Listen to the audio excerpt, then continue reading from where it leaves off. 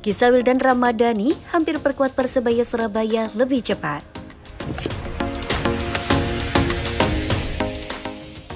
Kisah Wildan Ramadhani hampir perkuat Persebaya Surabaya lebih cepat menarik dikulik.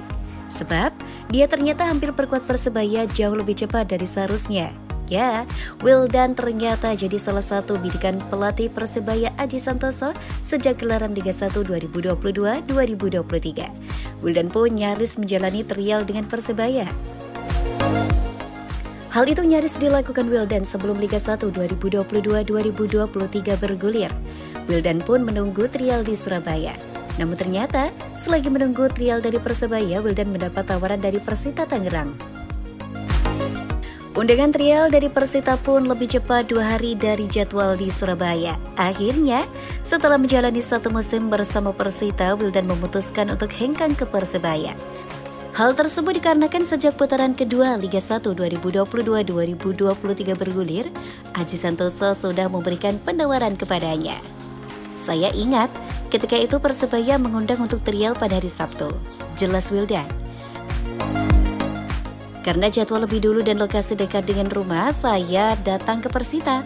Lanjutnya, ternyata setelah tiga hari menjalani trial, Coach Vera langsung mengontak saya.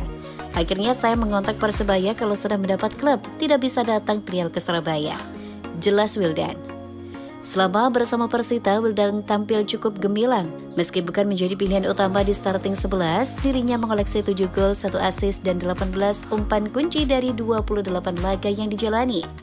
Lagu uji coba bertajuk Surabaya 730 game antara Persebaya kontra Bali United bakal berlangsung di Stadion Gelora Bung Tomo Surabaya Minggu 28 Mei 2023.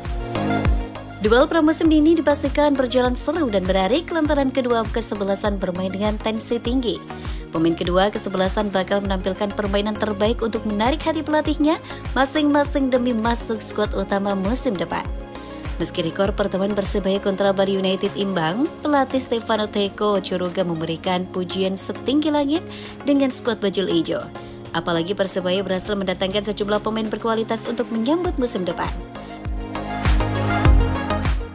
Persebaya saat ini diperkuat beberapa nama anyar seperti Ferdinand Sinaga dan Bruno Moreira yang kembali pulang selesai menyelesaikan kontraknya di klub Liga Yunani. Mantan striker klub Kamboja Visaka FC Paulo Victor juga menjadi salah satu senjata andalan bajul ijo yang patut diwaspadai Bali United. Persebaya yang kuat dan bagus di Liga 1.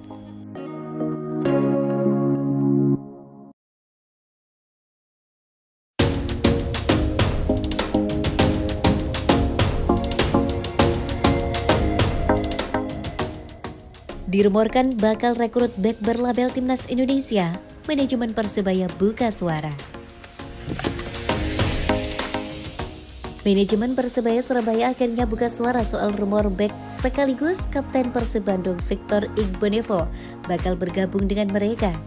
Manajer Persebaya Yaya Alkatiri menyebut tidak ada pembicaraan soal Victor baik dengan pemain bersangkutan maupun pelatih Persebaya.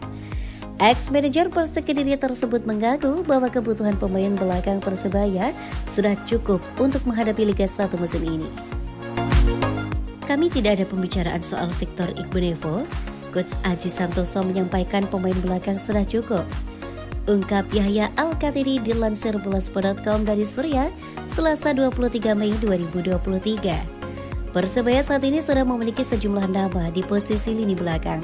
Kini Persebaya sudah memiliki tiga pemain di posisi back tengah, yakni Rizwan Lohim, Kadek Raditya, dan Yohanes Kandemo.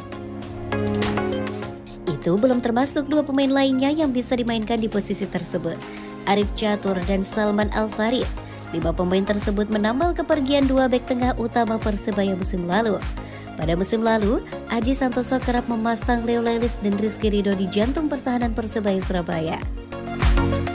Sementara itu, bek kanan Persebaya Surabaya sudah dipastikan bakal punya dua nama yang bisa bergantian mengisi posisi tersebut.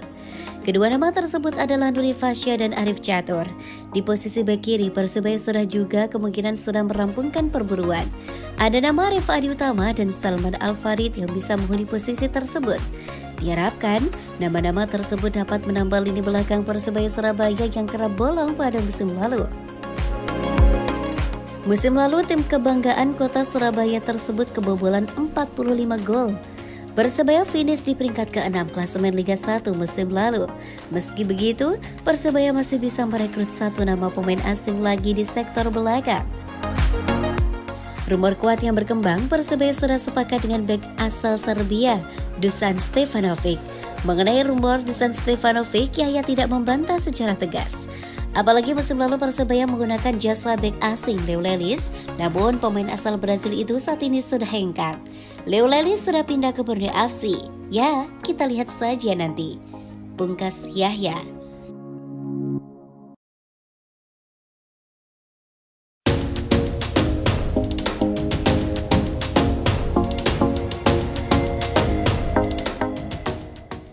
Kerinduan Reva Adi hingga balik ke Persebaya Surabaya. Akui kangen suasana tim dan cara bermain.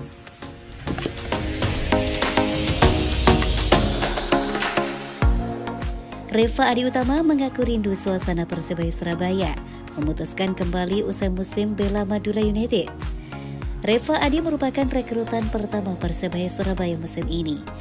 Ia diperkenalkan sebagai pemain baru pada 28 April 2023 lalu. Hampir sebulan kembali bersama Persebaya Surabaya, pemain kelahiran Makassar itu mengungkapkan rasa syukurnya. Alhamdulillah, saya senang sekali bisa bergabung lagi di Persebaya. Ucap pemain kelahiran 1 September 1996. Pemain berposisi bek kiri itu bahkan mengaku rindu dengan suasana yang ada di Persebaya. Saya sangat antusias melihat rekan-rekan, pelatih, semua official yang sangat saya rindu. Saya sangat rindu sekali suasana tim Persebaya yang berintensitas tinggi, bermain cepat. Sebagai informasi, Riva Adi sempat memperkuat Persebaya pada ajang Liga 1 2021-2022 lalu.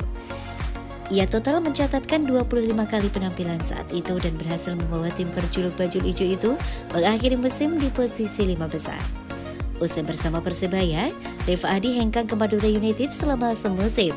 Pemain berusia 26 tahun itu menorehkan satu asis dari 29 kali penampilan bersama Laskar sampai kerap. Adapun, selain mengaku rindu dengan suasana di Persebaya, Reva juga terang-terangan sudah merasa cocok dengan sosok pelatih Aji Santoso. Ia yakin bisa mengeluarkan kemampuan terbaiknya di bawah asuhan mantan pelatih timnas Indonesia tersebut. Saya rasa saya sangat cocok dengan Coach Aji, dengan materi Coach Aji, bisa memberikan performa terbaik saya, bisa memberikan 100% apa yang saya punya di atas lapangan. Pungkasnya. Rifadi kemungkinan bakal menjadi sosok pengganti Altabala di posisi bek kiri. Di posisi tersebut, Reva akan bersaing dengan dua junior yaitu Salman Al-Farid dan Arif Catur Pamungkas. Kedua juniornya tersebut juga punya kemampuan di posisi lain. Reva Adi Utama merupakan pemain sepak bola profesional asal Indonesia yang saat ini memperkuat Persebaya Surabaya. Berdasarkan catatan Transfer Market, Reva Adi Utama adalah pria kelahiran Makassar 1 Januari 1997 silam. Memiliki tinggi 174 cm, Reva Adi Utama berposisi sebagai back atau fullback. PSM Makassar menjadi klub profesional pertama Reva Adi Utama dalam mengarungi karir sepak bola di tanah air. Bersama PSM Makassar, Reva Adi Utama berhasil membawa timnya finish di peringkat 3 klasemen Liga 1 2017 dan menjadi runner-up Liga 1 2018.